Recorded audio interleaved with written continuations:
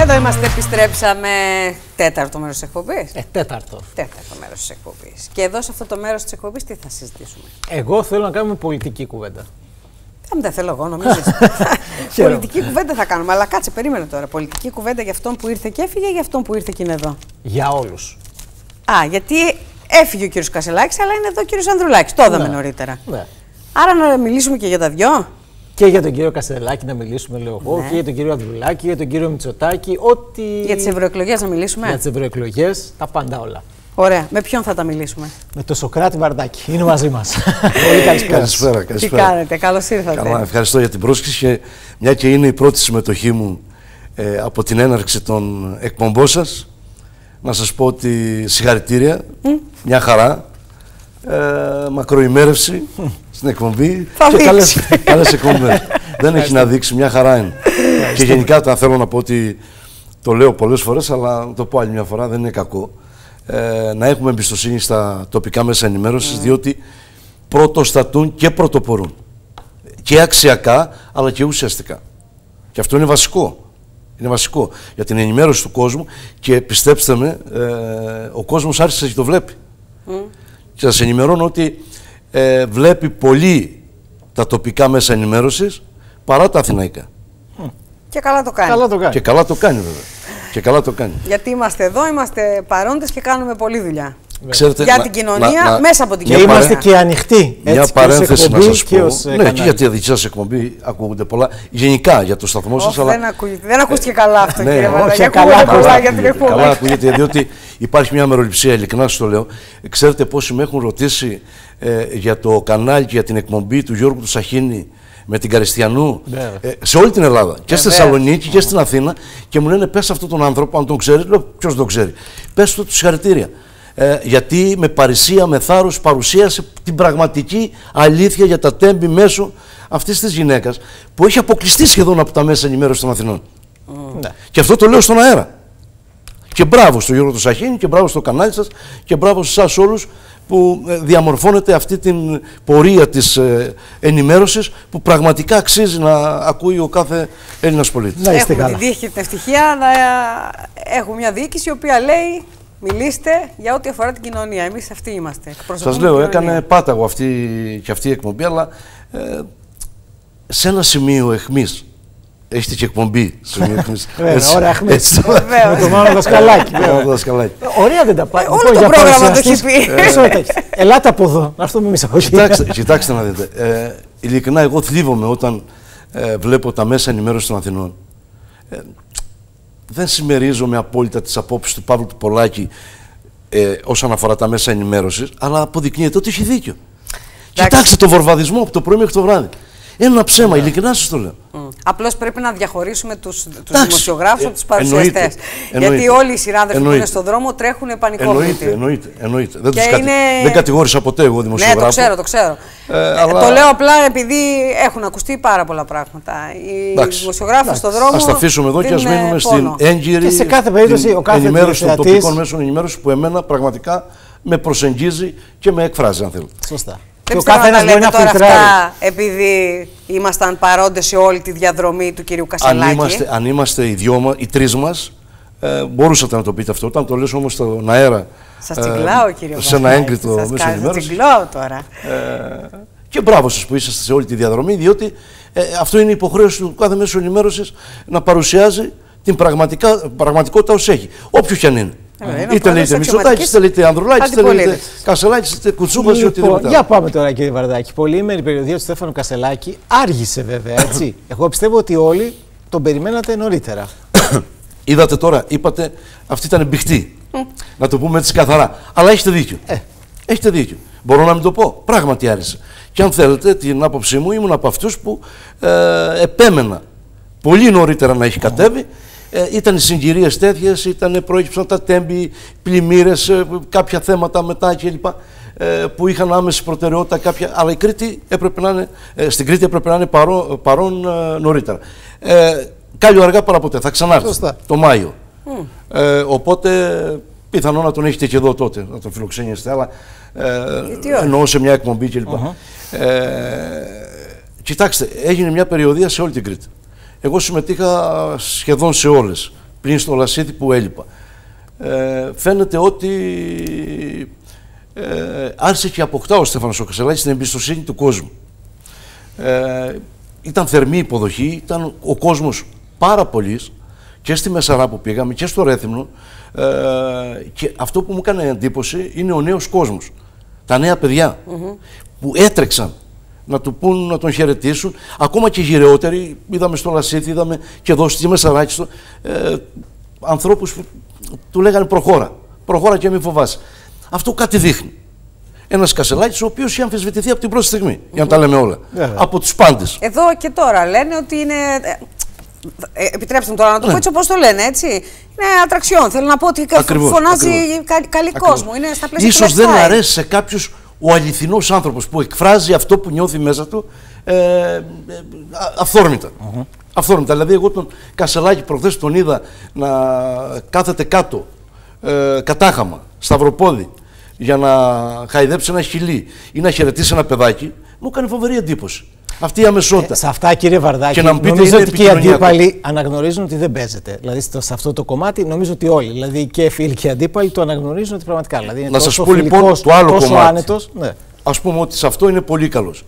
Σε κάτι που του καταμαρτυρούσαν ότι δεν ήταν καλός, δηλαδή ε, τον πολιτικό λόγο και την έκφραση του πολιτικού λόγου, ε, νομίζω ότι το τελευταίο δίμηνο ο Στέφανος ο Κασελάκης έχει αποδείξει ότι και ξέρει τα προβλήματα και τα διατυπώνει και έχει μπει στην ουσία και στη βάση των προβλημάτων. Με ποια έννοια; Παρουσίασε ένα πρόγραμμα σε 4-5 άξονες.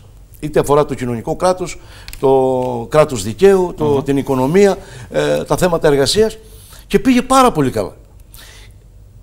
Κοιτάξτε τώρα, δεν είναι μόνο θέμα όμως Κασελάκη. Χρειάζεται πάρα πολύ δουλειά ε, από όλους μας για να διατυπώσουμε την άποψη, τη δική μας, την πρόταση αν θέλετε τη δική μας για την επίλυση των μεγάλων προβλημάτων που αντιμετωπίζει ε, η ελληνική κοινωνία και πιστέψτε με είναι τεράστια τα προβλήματα. Βεβαίως και είναι τεράστια. Τα, και μπαίνουν κάτω από το χαλί κάθε μέρα. Αυτό ένα ερώτημα βεβαίως είναι και το. Ε, γιατί στο ΣΥΡΙΖΑ το έχετε ξαναζήσει αυτό με τον Αλέξη Τσίπρα. Ήταν ο Αλέξης Τσίπρας και ο ΣΥΡΙΖΑ. Σωστά; Σωστά. Τώρα πάμε πάλι για ένα ο Στέφανος Κασελάκης και οι υπόλοιποι. Νομίζω ότι ο Στέφανος Κασελάκης αυτό το έχει καταλάβει. Και προσπαθεί να ενώσει. Προσπαθεί. Γιατί λέω προσπαθεί; Γιατί πράγματι ακόμα υπάρχουν αυτές οι τάσεις μέσα στο ΣΥΡΙΖΑ. Και δεν είναι κακό οι τάσεις. Οι φράξεις είναι κακό. Α, σωστά. Έτσι. Ε, ε, οπότε πιστεύω ότι ο Στέφανος ο Κασελάκης έχει καταφέρει μέχρι σήμερα να δημιουργήσει τις προοπτικές εκείνες που χρειάζονται για την ενότητα του ΣΥΡΙΖΑ Προοδευτική Συμμαχία. Να μου, πεις, ο, να μου πείτε ο, ο Τσίπρας δεν το έχει καταφέρει; Σε ένα μεγάλο βαθμό όχι. Ε, κρατούσε κάποιες ισορροπίες που ίσως δεν έπρεπε. Αλλά δεν είναι της παρούσα να τα συζητήσουμε αυτά τα θέματα. Ε, σήμερα προέχει να συζητήσουμε πιστεύω τα προβλήματα της ελληνικής κοινωνίας, τα προβλήματα, θυμάστε εδώ ε, να κάνω μια παρένθεση σε όλα τα πάνελ προεκλογικά ε, και το 19 αλλά και το 23. Ε, θυμάμαι και κρατούσαν οι υποψήφοι βουλευτές ε, της Νέας Δημοκρατίας ε, όταν τους ε, βάζαμε το ερώτημα ποια ήταν τα έργα που κάνατε στην Κρήτη μέχρι σήμερα, 30-40 χρόνια; Ε, ή ακόμα ε, και πρόσφατα, ποιες ήταν οι προτάσεις. Κρατούσαν κάτι βιβλία με 400, αν δεν κάνω λάθος. Εδώ ήμασταν και σε ένα πάνελ, ήμασταν μαζί κύριε Ακριβώς, γι' αυτό το λέω. γι' αυτό το λέω. 426 έργα, αναπτυξιακά έργα στην Κρήτη. Ναι. Πέστε Μα, μου αυτά και ένα έργο, ένα έργο που έγινε τα τέσσερα του προηγούμενα χρόνια, γιατί θα μου πείτε τώρα ότι μα, ένα χρόνο είναι η Νέα Δημοκρατία. Κυβέρνηση δεν είναι ένα χρόνο. Έξι χρόνια είναι ο κύριος Μητσοτάκης. Το αλλά... νέο αεροδρόμιο στο Καστέλι. Δεν το βλέπετε ότι σιγά σιγά βαδίζει, δηλαδή είναι σε πολύ καλό δρόμο; Ο ΒΟΑΚ δεν έχει μπει στις ράγες Πουθενά. Πουθενά. Πουθενά. Εδώ δεν έχουν γίνει απολωτριώσεις ακόμα. Ακόμα. Ε, και μην ξεχνάτε ότι καθυστέρησαν πέντε χρόνια. Τώρα κάτι πάει να γίνει στο ΒΟΑΚ μετά από πέντε χρόνια. Το αεροδρόμιο στο Καστέλι. Το αεροδρόμιο στο Καστέλι, όπως το βλέπετε, εάν, ότι είναι σε ναι, πολύ καλό δρόμο. Τότε θυμάστε τι λέγαμε ότι πήγε και έβαλε την πλάκα ο Καραμαλής με τον κύριο Μητσοτάκη. Ο κύριος Καραμαλής. Ναι. Ο οποίος καταχειροκροτήθηκε προδέχει, θα πούμε μια κουβέντα παρακάτω. Να πούμε. Από την ολομέλεια της βουλευτών της Νέας Δημοκρατίας. Έχοντας απέναντι στο, στα θεωρία τους. Ε, ε, συγγενείς των θυμάτων, των τεμπών. Αλλά να μην υπε, στη, στη συνέντευξη που αναφερθήκατε, απάντησε και η κυρία Καριστιανού γι' αυτό. Ακριβώς. Θα έπρεπε να λείπει. Δεν ήταν τυχαίο που ξεκίνησα έτσι τον πρόλογο μου. Ε, ούτε ένα έργο. Το Καστέλι, ξέρετε πότε άρχισε, ξέρετε πότε δημοπρατήθηκε, ξέρετε, και πράγματι κινούνται, και ξέρετε τι κινείται με γοργούς ρυθμούς. Διότι χάνουν ε, υπάρχουν διαφυγόντα κέρδη όσο καθυστερεί για τις ξένες εταιρείες Ναι. που έχουν ε, την ε, εποπτεία και την επιμέλεια του αεροδρομίου. Πάντως στο Καστέλ είναι ένα καλό παράδειγμα συνέχεια της διοίκησης, δηλαδή της βάσης, ο ΣΥΡΙΖΑ το, το φτιάχνει η Νέα Δημοκρατία. Το βλέπετε κύριε Βαρδάκη. Ακριβώς. Άρα είναι καλό παράδειγμα. Καλό παράδειγμα. Ε, κακό παράδειγμα είναι ότι προχθές και ενημερωθηκαμε ε, και ενημερώθηκε και ο Στέφανος ο Κασελάκης ότι καμία μελέτη δεν υπάρχει για τους ε, οδικούς άξονες ε, στο Νότο, τους συνδετήριους άξονες του αεροδρόμιου. Κοιτάξτε, και όταν δεν υπάρχει προμελέτη καν, ούτε σχεδιασμός, φανταστείτε τι θα γίνει το επόμενο διάστημα. Φτιάχνουμε ένα αεροδρόμιο και δεν ξέρουμε από πού θα πηγαίνουμε στο αεροδρόμιο. Αν εξαιρέσετε τον άξονα Ηράκλειο ε, Θα πηγαίνουν οι βόρειοι, οι νότιοι. ε, αν, εάν πράγματι τελειώσει το 27 το αεροδρόμιο, λειτουργήσει, δεν ξέρουμε τι θα γίνει στο αεροδρόμιο στο Ηράκλειο. Τότε παραμονές θα τρέχουμε πάλι να πούμε ότι τα φιλέτα αυτά δόθηκαν σε ιδιώτες. Γιατί δεν μας απαντά κανείς.